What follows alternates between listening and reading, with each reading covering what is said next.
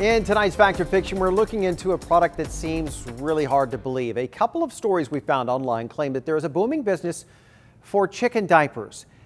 And it's apparently true. We found at least five companies selling the diapers at prices ranging from 17 to $38 a diaper.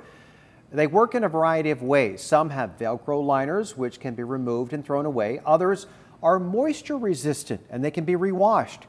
Chickens have become a nouveau pet in uh, some circles and are very difficult to housebreak, we're told. Of course, diapers are just the tip of the iceberg. We also found products ranging from hen aprons to chicken tutus. Well-dressed chickens have become an Instagram staple, if you haven't noticed. If you'd like to submit a question to us, just go to 10news.com, click on the red television button. You want a pet chicken for Christmas? Yeah, they have fancy eggs. Fancy eggs, too. Mm -hmm. Look for Fact or Fiction. We'll be right back.